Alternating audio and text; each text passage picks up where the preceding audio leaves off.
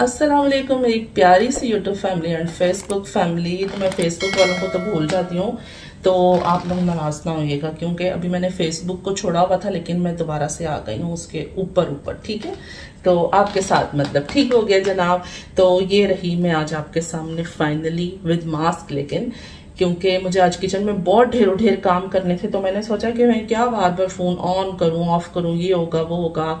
तो मुश्किल लग रहा था मुझे ना थोड़ा सा क्योंकि मुझे सबसे पहले करनी है अपनी फ्रिज नीट देन फिर हम जो काम करेंगे सारे वन बाय वन मैं आपके साथ शेयर करूँगी। और आज मैं बिल्कुल वीडियो को कट नहीं करूँगी, ये हाथ में रहा मेरा फ़ोन का पेन और इसको यूज़ करते हुए मैं ऑन ऑफ़ ऑन ऑफ़ जल्दी जल्दी सारे काम करते हैं, चलें जी स्टार्ट करते हैं। पहले नंबर पे हम पहनेंगे ग्लव्स और मैं अपना पेन यहाँ रख लेती हूँ। पॉकेट में रखते रखते ये ना कुछ और हो जाए। तो ग्लव्स पहन लेते हैं जी, ताकि हाथों को नुकसान ना पहुँचे। स्किन का या ख्याल रखना चाहिए ना, अपने हाथों पाँव का ख्याल रखना चाहिए। क्योंकि ये यहाँ पे और भी बड़े मसले मसाइल होते हैं, अगर आप हाथों को करते रहेंगे, इस तरह यूज़ पेन पकड़ लूँगे ना, कि पेन कहीं और चला जाए। चलें जी। चलें जी, खोलते हैं हम अपनी फ्रिज तो इसको नंबर वन पे हम करेंगे ऑर्गेनाइज फ्रिज एंड फ्रीज़र दोनों को पहले मैं इनको करूँगी खाली और फिर उसके बाद मैं दोबारा से इसको रीसेट करूँगी सब और जो काम कर रहे होंगे वो करके दोबारा से चीज़ें सारी फ्रिज में रख देंगे और अपने लिए काम करेंगे आसान.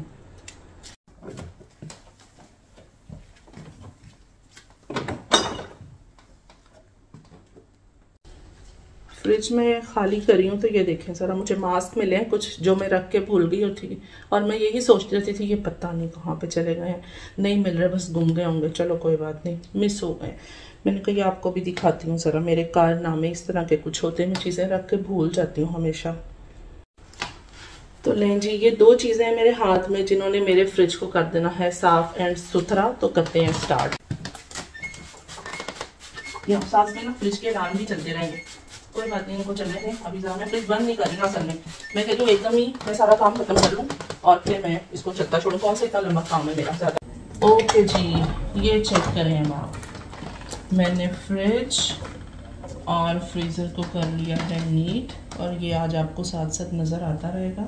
ये है मेरे हाथ में मैजिक इंच दी गल नहीं वैसे मैंने बड़ा काम किया और मुझे एकदम मेरी फ्रिज नीट एंड क्लीन नज़र आ रही है और क्या मज़ा आ रहा है, माशाल्लाह माशाल्लाह। अपने दिल को यार खुद ही तसल्ली हो जाती है ना, सुकून हो जाता है, आप अपने घर के काम अपने हाथों से करते हैं। और फिर जैसे कि आपको पता है रमज़ान आ रहे हैं, उससे पहले मेरा मकसद दिखाने का ये था कि जनाब मैंने यहाँ से अपना काम स्टार्ट किया है तो चले, चलते हैं नेक्स्ट काम की तरफ़ अपने और अब मैं मिलवाती हूँ आपको इस गन से, जो कि मैंने फ्रिज नीट की है तो कुछ फ्रिज में से निकला है और कुछ वैसे ऊपर रखा हुआ था। लेकिन आज सारे मैस को करना है, आपने इग्नोर क्योंकि मेरे बहुत से काम हैं, जैसे कि आपको पता है, फिर चलें, आगे आगे चलते हैं।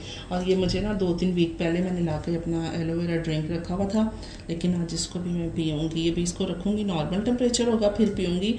इससे पहले कि रमज़ान आने से पहले पहले मेरा गला ख़राब हो जाए। ठीक हो गया जी? अच्छा जी, अब हम साथ में ये सारे टिशू विशू उठाएँगे, जो हमने गंद मारे हुए ये भी डस्टबिन में डालते हैं ना। सब कुछ देखेंगे आज आप। सनाज लाइफ इन जर्मनी में। आज आपको हर चीज़ नज़र आएगी, मैं क्या क्या करूँ चलें जी, काम भी बहुत है, करने वाले करते जाते हैं। टेबल को भी मैंने सारा खाली कर लिया है, और इसको थोड़ा सा नीट भी कर देते हैं। मैंने आज आधा काम नहीं किया, पूरा काम कर रही हूँ, ठीक है? इसकी भी एक आपको स्टोरी सुनाती हूँ। पता जब मैं कोई काम करती थी ना, अब बचपन तो नहीं मैं कह सकती, तकरीबन चार पाँच साल पहले कह लें और शादी के बाद से ज़्यादा मेरी आदत ये थी। कि मैं कोई काम स्टार्ट करती थी ना तो मैं उसको हाफ़ करके छोड़ देती होती थी। मैं कहती थी अच्छा ये काम पहले है, ज़रूरी, इसको छोड़ के दूसरा कर लेती हूँ। लेकिन वो फिर मुझे डांट पड़ती होती थी। वो मैं बड़ी मशहूर हो गई थी। मेरे हस्बैंड मुझे कहते थे तुम आधे आधे काम करती हो। नहीं भी किया होता था तो भी मुझे तंग कर रही तुम आधे आधे काम करती हो। लेकिन फिर मैंने सोचा, नहीं थोड़ी सी आदत बनानी चाहिए। लेकिन अभी अल्लाह का शुक्र है, ये देख रहे हैं आप लोग। फ्रिज नेट किया देन मैंने अपना डाइनिंग टेबल नेट किया है कि आधा काम लेना चाहिए, अब मैं करूँगी अगला काम। ठीक है ना? ये यूट्यूब की वीडियो गवाह रहेगी। आज की वीडियो का मुझे बिल्कुल भी नहीं आइडिया कैसे की बनेगी तो ट्राई करके मुझे पता चलेगा कि कैसा रिज़ल्ट आता है। आज आप लोगों को कैसी लगती है? टेढ़ी मेढ़ी है या सीधी सीधी है या वॉइस में कोई ऐसा वैसा प्रॉब्लम तो नहीं? चले, अब हम करते हैं काम अपने को स्टार्ट में इस तरह से आ चुकी हूँ तो जनाब, ये देखें। मैं लेकर आई हुई हूँ इस बार गर्म मसाला के पैकेट इस तरह ना? ये पैकेट्स हैं। इनको ओपन करती हूँ और देखती हूँ कि ये कैसे ये देखें आप जी। ये कुछ इस तरह से हैं, ठीक है? अब मुझे नहीं आइडिया है कि ये कैसे रहेंगे, लेकिन मुझे इस बार ये नज़र आए बने हुए पैकेट्स मैंने कहा, इससे अच्छी और कौन सी बात है? चेक करने में क्या है? हर चीज़ चेक करके ही आपको पता चलता है ना कि वो कैसे की है। अच्छा जी, आप ये मेरी अक्लमंदी कह लें, ये बेवकूफ़ी कह लें मैं आपको चेक करवाती हूँ। ये देखें ज़रा। एक ये हो गया और दो। इतना ज़्यादा ये दोनों पैकेट्स मैंने खोलनी है। मेरा ख्याल है कि अब ये छः महीने का गर्म मसाला तो बन गया और इसमें बे लीव्स चेक करें। कि इतने ज़्यादा पैकेट में निकल आए हैं कि मैंने पुलाव पकाना है, बिरयानी पकानी है कि मैंने गर्म मसाला बनाना है। खैर, मैं थोड़े से इसमें से निकाल दूँगी। ओ अल्लाह, माफ़ करे, ऐसे लग रहा है। उनकी अम्मी अबू बच्चे हर साइज़ के हैं इसके अंदर, ठीक है? आप भी कहते होंगे कि मैं रमज़ान की सारी तैयारियाँ कर रही हूँ, लेकिन आपको ऐसी वीडियो किसी ने दिखाई होगी। बिल्कुल जैसे टू दी पॉइंट आप देखते होंगे कि गरम मसाला पीस के लो जी जल्दी से लहसुन, अदरक, पेस्ट बन गया। और ये तो वो, लेकिन चले, इस तरह से भी इंजॉय करें। एक तरह से देख देख के तो बंदा वैसे ही थक जाता है। ये जी, इसका पूरा ख़ानदान निकला है, और चेक करें ज़रा। क्या बात है। मैं कहती हूँ, मज़ा ही आ गया। मज़ा ही आ गया। पूरा ख़ानदान निकला है अंदर से। खैर, चलें, मैं भी ये सारे नहीं डालूँगी, कोई एक आधा बीच में डालूँगी बस। बाकी मैं सारा चेक करती हूँ, जो चीज़ कम होगी, उसको पूरा करूँगी। मुझे लग रहा है वैसे काफ़ी है। पूरा करने की ज़रूरत नहीं है। अच्छा जी, मेरे पास कॉफ़ी ग्राइंडर है प्रॉपर गर्म मसाले वाला ग्राइंडर नहीं है। तो चलें स्टार्ट करते हैं। ये देखें, मैंने सब कुछ पकड़ लिया और अल्लाह खैर करे। तो गर्म मसाला बन ही ना जाए आज। लेकिन पैकेट वाले को भी ट्राई करना चाहिए। सारा कुछ यार नज़र आ रहा है बीच में। मुझे कुछ ऐसा नहीं लग रहा कि इसमें कुछ मिस है। लेकिन चलें, फिर आपको बताऊँगी। लें जी, ये रहा गर्म मसाला।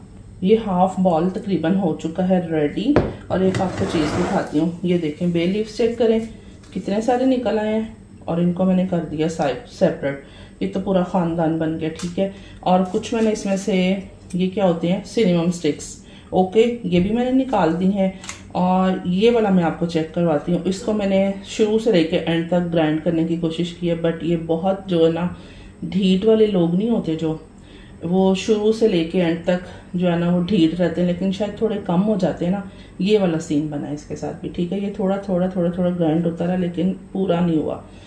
रिज़ल्ट क्या निकला कि ये ढीट मिट्टी है, ठीक है जी? अगला काम करते हैं स्टार्ट लें चिकन मसाला हमारा हो गया रेडी और ये देखें, माशाल्लाह, काफ़ी सारा बन गया और जितना भी टाइम इसके साथ गुजर जाएगा सो देखते जाएँगे, ठीक है? गुजर जाएगा, अच्छी बात है। अच्छा जी, अब हम इसको रिफ़िल करते हैं। मेरे पास है जो सूखा धनिया होता है, लेकिन इस तरह मेरे पास ना जार कोई बड़ा नहीं है। लेकिन कोई बात नहीं। इसलिए मैंने पैकेट भी फिर छोटा ही खोल लिया कि यही ठीक है। ओके। ठीक हो गया जनाब। इसमें भी थोड़ी सी रह गए इसको फिल कर लेते हैं।